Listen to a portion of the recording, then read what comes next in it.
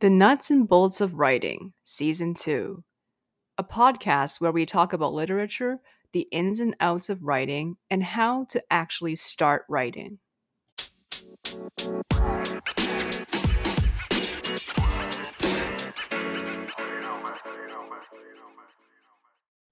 Hi, everyone.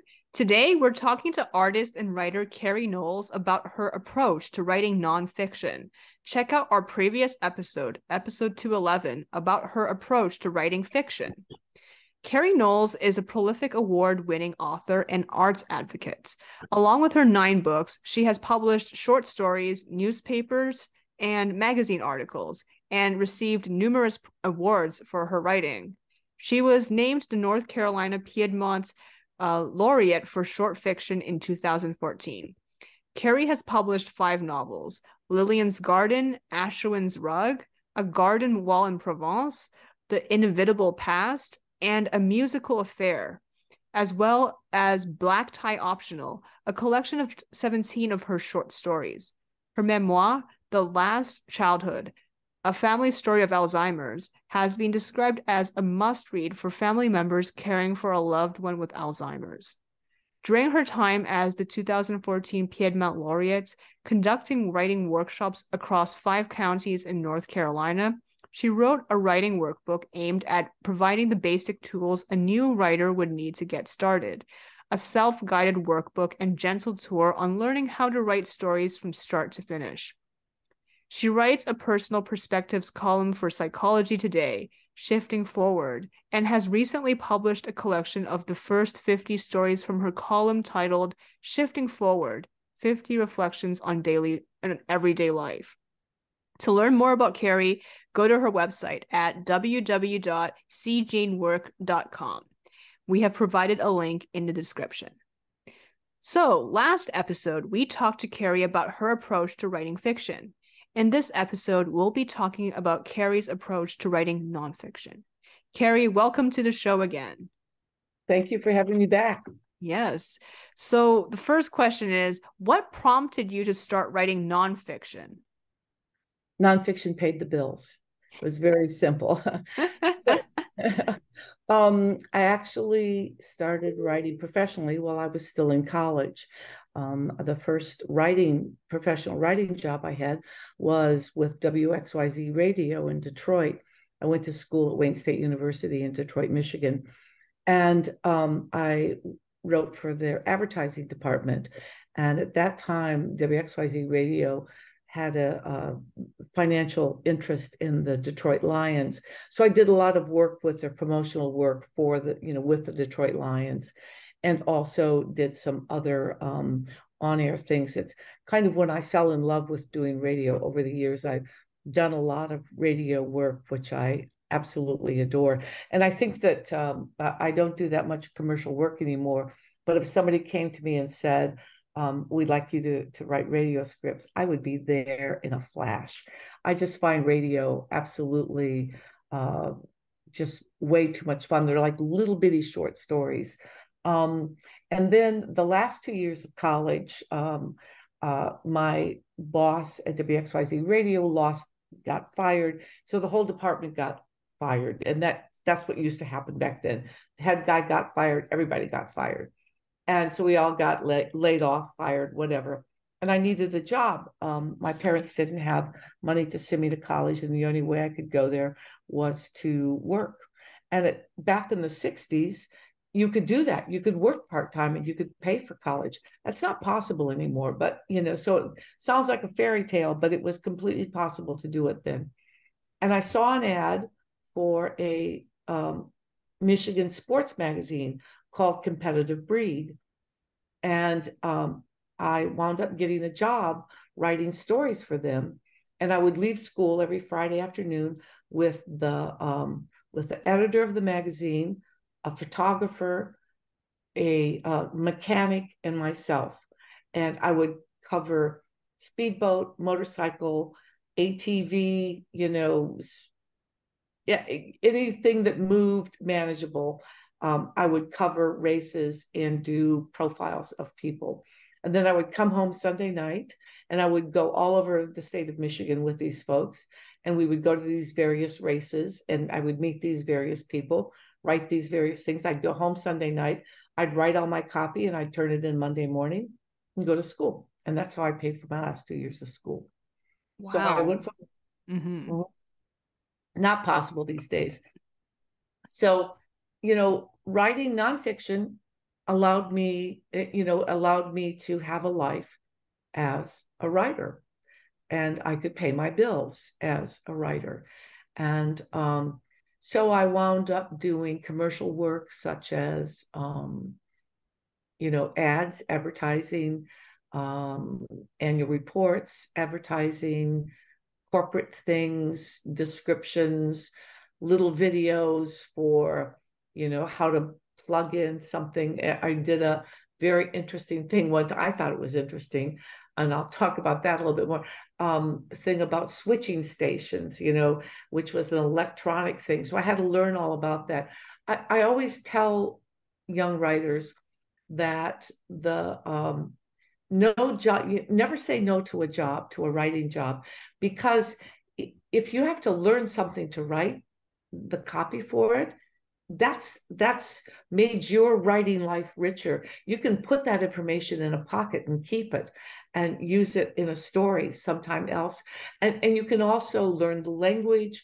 Um, i've written a lot with medical articles um, and uh, years into it i was married and we had kids and one and that, the local newspaper in raleigh um, on Thursdays, that was the day where they did the food section. And one morning I was sitting there, um, and the kids had gone to school, and I was sitting there reading the food section. And I thought, and this is going to sound really ugly, I thought, you know what? There are a lot of women that this is the only thing they have the time to read every week is this food section. And this is so poorly written, I just want to poke my eye out. And I thought, I can do better than that. I'm going to give people better things to read. And so I began writing about food, and I spent a number of years writing food articles for magazines and newspapers. And eventually I became a restaurant reviewer. And all of these little things paid all the bills that I had. And it was fun. And uh, I've used that information and in my fiction. So anyway, I love nonfiction. Wow, yes, that really hit a chord with me because I've had experience doing similar things, you know, ever since I was in school. You know, I've been helping out my dad and some other people with marketing copy and you know, I've learned a lot of different things from writing about subjects that I would have never ordinarily read about, you know, ranging from traditional Chinese medicine to environmentalism and marketing. Isn't that great? And you know you can take that information and you can move it to some other thing. You could move it to fiction. And it, it's just your world is bigger because of it. I think that's the great thing about writing is that your world just gets bigger. Yes because i learned a lot about subjects that i would have not ordinarily learned ordinarily learned about and you know i i think that's really helpful. And it also makes my mind grow bigger too because it really helps me to process information faster. And you know you know basically i have to write about these subjects that i don't know about. For example programming. I only know a tiny bit of programming. I can't tell you about you know so and so programming language but sometimes i have to write about that. So i force myself to read it and understand it and write it in a way so other people can understand it too. And that has really helped me you know hone my communication skills and my writing skills because you know I have to digest these concepts and regurgitate them in a way that makes sense to people. That's you're so right. And I'm so glad to hear you say that because so many people say, "Oh, no, no, no, you know, I don't want to do that." I'm like, "No, no, no. Always say yes and uh, find out something new and you know, be smarter. You know, just get smarter. And what a wonderful way to do that. Um, the other thing is I personally like research. I like like in my fiction, if you ever um, if I ever mention a street or a building, it's because that's a real street and that's a real building on that street. So I have all these maps and I have things that I've collected from places I've traveled to. And so, you know, I want it to be grounded in real things. And that's just my how I think about the world. And that also helps me to be able to write nonfiction because I want to know, well, how does that work? Mm-hmm. You know? And um, when I traveled with the mechanics, and I didn't know anything about cars and motorcycles. I'm still not sure I know anything about a motorcycle or a car. Um, but I had somebody who I could say, okay, is this the right language? Is this the right word? And they would, you know, when I finished copy, I would send it to them first before I ever send it to my editor and saying, is this stupid? Did I say this right? Did I get this right? Do I understand this? And and so little by little, I would learn what the right terms were, except for we were always, you know, the language was always changing because um, motorcycles are different than speedboats. But, you know, but I had a big language that I needed to learn. And that was really exciting to me and fun, just mm-hmm. lots of fun. Absolutely. So the second question is what is the difference between the facts as truth versus the emotional truth? And this is a question that we previously asked in episode, you know, 211 about writing fiction. So how is it like um, you know, how how would you answer this question from the perspective of someone writing nonfiction? That's easier than it sounds and it's a little bit different than my answer for fiction. So you should have listen to the podcast about fiction. So in nonfiction, the emotional truth becomes the narrative. And if you don't have a story, the narrative is the story. You have the facts. And what's the story behind the facts? What's the human story behind the facts or the animal story behind the facts? You know, so give me a narrative um, because and I just read an article this afternoon uh, from a philosopher saying that's how we learn, that's how we change as people is through stories, is through narration, is through understanding through the narrative. So, you know, um, if you tell me, oh, there's a war in Syria, or, you know, this horrible thing that's going on in the Ukraine, you know, if you just say, oh, there were six bombs dropped, you know, in Ukraine last night, what does that tell me? You know, I skip over that and I go to the next page. But if you give me a narrative about where that was, who was involved, what happened because of that, how that changed the war, how this was going to happen, how that that's the narrative, that's the emotional truth. That's how did those six bombs impact the lives of those people? That's when it gets interesting. That's when I become empathetic to that story. And I want to stay with that story and know more about it and make a decision myself as to what side I'm on with this. Um, and I think the narration helps us make more intelligent decisions, emotionally based intelligent decisions about is this true? Do I care? Um, what's going on? What can I do? And that's mm-hmm. very important in nonfiction.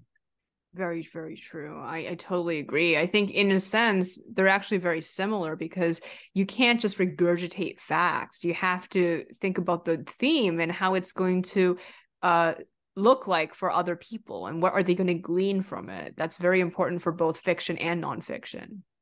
You know, it's interesting. Um, the uh, the inevitable past, um, which uh, one of the books that you mentioned um, in that the the main character it's you know at the turn of the century and um, and one of the key things that happened at the turn of the century which i found out which i loved was that the remington typewriter was invented and the remington typewriter was this big black thing with black keys and the letters were white on it and it it changed how office work was done. Previous to that, men were the ones who by hand wrote out, you know, all the details and the bills and the this and the that. And it was a man's job. When the typewriter came, for some reason, the men didn't want to do that. It became a woman's job to do it. the people who did that job were not called, as we call them today, typists, but they were called typewriters. They were called by the same name as the machine. And it, you know, I found that a very dehumanizing thing. The same thing happened with computers. Um, you know, uh, we we dehumanized the people who worked for them initially, and you know, we gave them the same name as you know uh, those big mainframe computer things. But anyway, that that women were called typewriters, and by the way, they had to wear black skirts and white blouses, so they looked just like their typewriters oh. too.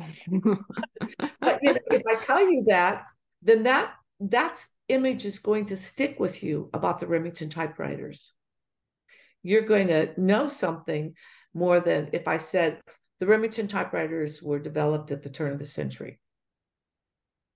So what? You know, nobody uses those anymore. But if I give you that little narrative about those women, then that story is going to stay with you. You're going to remember it. Exactly. Totally agreed. So, how do the basic tools of writing good fiction apply to nonfiction? Ah, very important.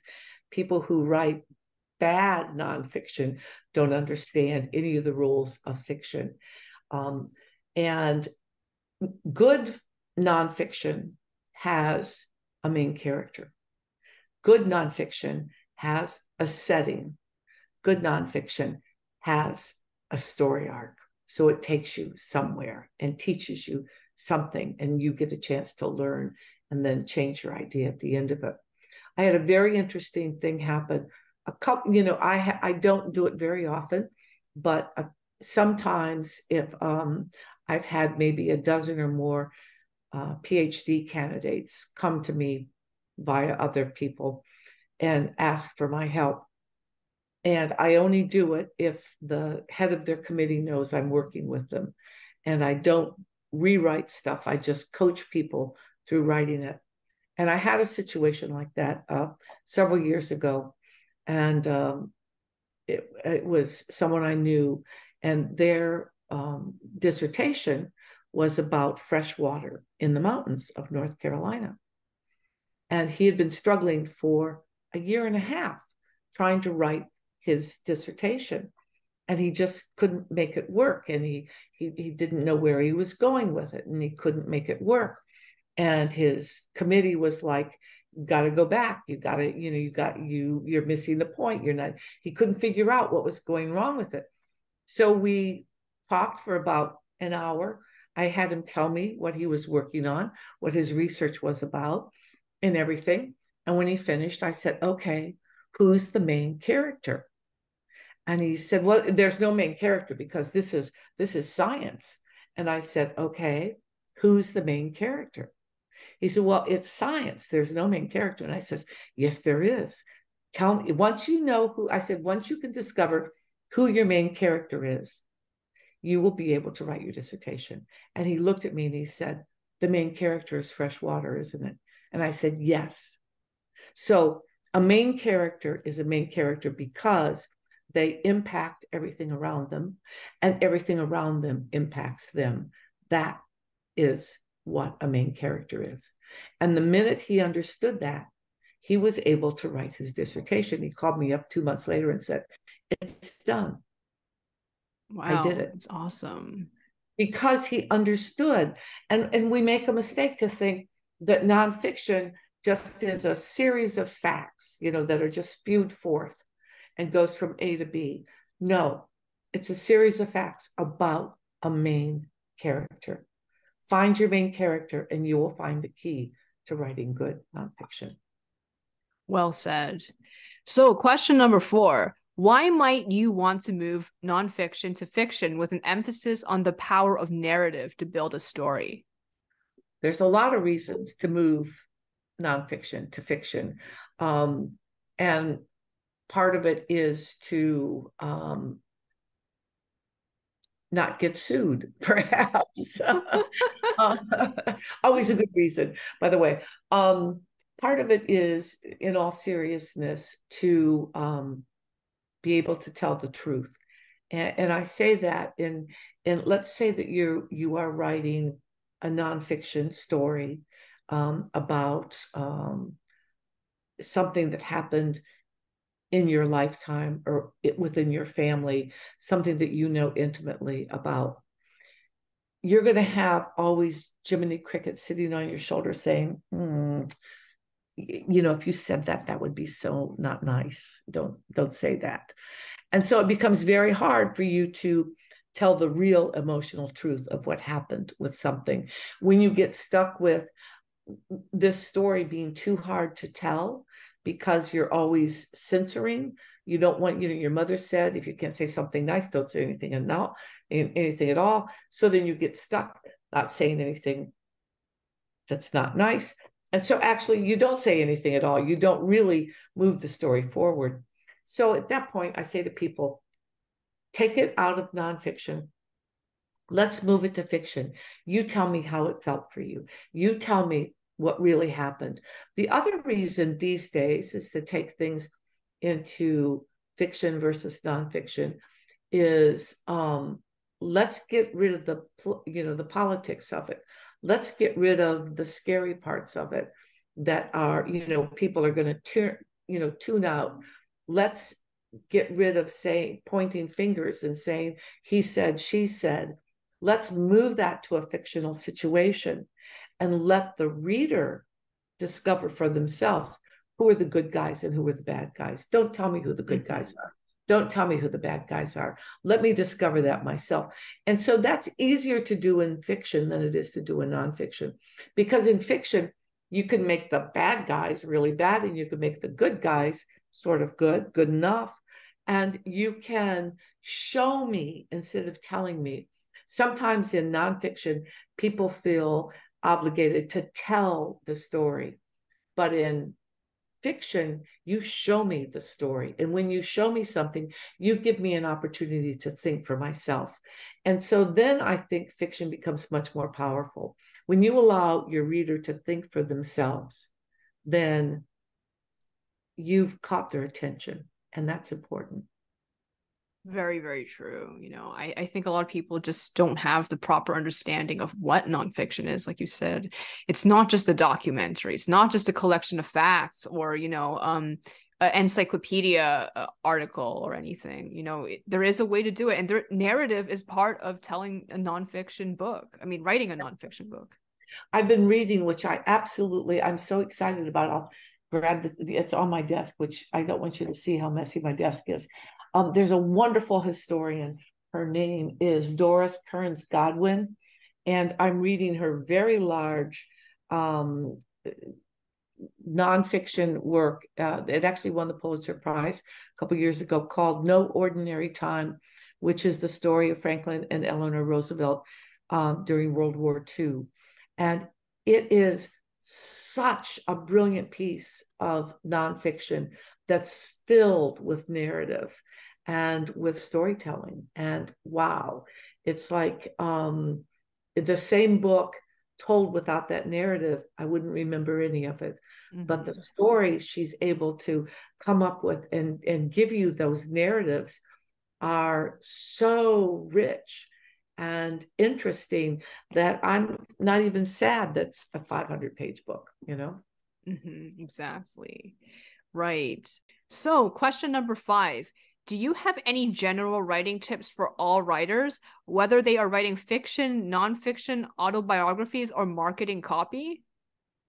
Yes, I think the most important thing is, particularly these days, it's to tell the truth and do your research. Um, know what you're talking about. Don't just make it up. Um, even if it's fiction, uh, find the, the elements of truth within the fiction so that that anchors the work. Um, and uh, you know i, I think that uh, that's the best advice i could give is to be truthful in in the work that you're doing. And if you're doing advertising copy boy really you know understand what you are doing with that what the truth is with that and um, once you find that, you can, it's easy to write. Mm-hmm, definitely. Yeah, like you said with the the guy with the PhD, you know, once you find out the main character, you know, it's pretty easy. Oh, absolutely. Well, you know, it's it's not so easy, but it it, it is easy, easy enough. I, I had a, a wonderful opportunity many years ago to meet Isaac Asimov and um, to spend an evening with some other writers with him. And uh, it was it was thrilling and uh, just kind of the highlight of a literary career to be able to spend time with somebody like Isaac Asimov. And one of the things he said that night was if anybody tells you that they write more than four hours a day, they're lying. He said nobody can do it for more than four hours a day. It's too exhausting. But that four hours, what he meant by that was where you're actually producing words for four hours. There's lots of time where you can go do research and think. Give yourself time to think. I think the worst thing that computers have done is it is they've taken away the time that writers used to get to think about what they were writing. When I first started writing advertising copy or writing for magazines or writing for newspapers, editors would call me. This was before computers. Editors would call me and say, Hey, we would like you to do a story about this or that. And we want uh, 1,500 words, and we'd like you to cover these things. And I'd say, Great, sounds terrific, wonderful. Hang up the phone. I'd start my research. And two days later, two days later, imagine that, I would write my copy and I would put it in an envelope. I would type it up, put it in an envelope, take it to the mailbox, send it to that editor. They would get it maybe two days later and they would call me. Now that meant that I now five days have have passed. So I've had five days to think about what I have written. I had five days to think about what else I might want to write with that. And an editor would call me and say, Hey, we really like this piece, but we would like uh, a sidebar, uh, a 250 word sidebar about this. And I'd say, That sounds great. I'd hang up the phone, bam, I do the research, I'd write the 250 word sideword. Once again, I'd put it in an envelope, put it in the mail, off it would go. So now I get a call or I get an email. We want 1,500 words uh, by four o'clock. Oh, we didn't like that part. Could you get, oh, it's four o'clock? Oh, mm-hmm. So now could you give us another 100 words about this? Mm, okay, we'll need it by tomorrow morning. There's no time. We've lost that time to think. And so give yourself time to think when you're working on your novel, when you're working on your article, when you're working on your pitch don't just shoot from the hip. Give yourself time to think, do the research, get it right, and go forward. Mm-hmm. Wonderfully put. You know, I I agree because sometimes if you space things out, you know, you get a different perspective. But if you just do everything in one go, you know, sometimes you make not only spelling errors or typos or weird syntax problems, but then there's like logical holes or this is just not phrased properly. Well, I think that those logical holes are really so tripping, you know, um, or you got the information wrong, or you're so much in a hurry that you're going to believe what you found on the internet to be true. Mm-hmm. Exactly. When you need to pick up the phone and call somebody else and say, "Tell me what you really said. Mm-hmm. What really happened." Um, know your librarian. You know, find a librarian who you can call and say, "Help me with this." You know, Mm-hmm. Where should I go to find the truth about the answer to this? And like um, you know, there there are many, many reference libraries all over the country. And you know, there's reference librarians. Libraries have people called reference librarians. And you should make those, you should bake cakes for those people. You should be able to call those people and say, help me find this, you know don't trust everything you find on the internet. Find it in real life. Mm-hmm. Very true. Yeah. Well, thank you so much for coming on. I think, you know, after our next episode, which is episode 213, which is about, you know, your approach to visual art, we may have an episode, you know, where you talk about research because this is something that interests a lot of people including a lot of our co-hosts you know you know one of our co-hosts of the podcast R.N. Ravole is a writer of historical fiction herself. So you know yeah. and you have written that book about you know provence. So you know i think maybe in the future you know you and her or me all three of us can talk about you know how to do research for historical fiction. I think that would be very that would interesting. be great fun. Um, the inevitable past is um, based on you know based on history.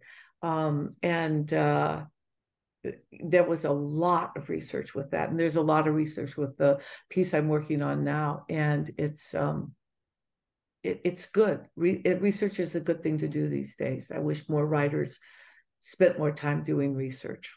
Right especially you know like you said real life research because now when people talk about research they just think about typing something into google and looking at google scholar or if they're in university you know going through jstor or something like that there's more to research than that. Exactly. Mm-hmm, right. Well, thank you so much for coming onto the podcast again. And, you know, we cannot wait for you to come back. You know, there's so much to talk about. well, I've had so much fun, Imelda, and it was great to meet you and great to talk with you. And what fun to find somebody to talk about books with. I love it. Yeah. All right. Thank you. You're welcome. Bye.